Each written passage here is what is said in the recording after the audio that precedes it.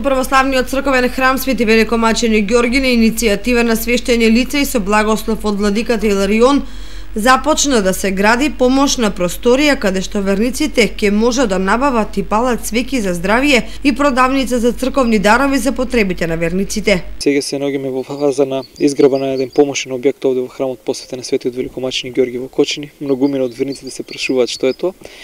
Значи тоа ќе биде на продавничка за свеки, продавничка за дарби, место каде што нели ќе се палат свеките.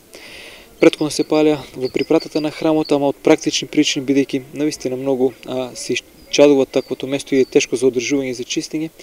Со благослов на нашиот владика, нели по иницијатива на свештенството решивме ради практични причини да а, да го преместиме нели продавничките и местото за палење свеки. Поради тоа од црковниот храм апелираат до сите верници кој како и со што може да помогне за овој помошен објект да биде што побрзо изграден и ставен во функција на верниците. Со изградбата на оваа просторија ќе се заштитат фреските и ќе се намали гужвата во црковниот храм, особено за време на празниците кога посетеноста на верниците е голема.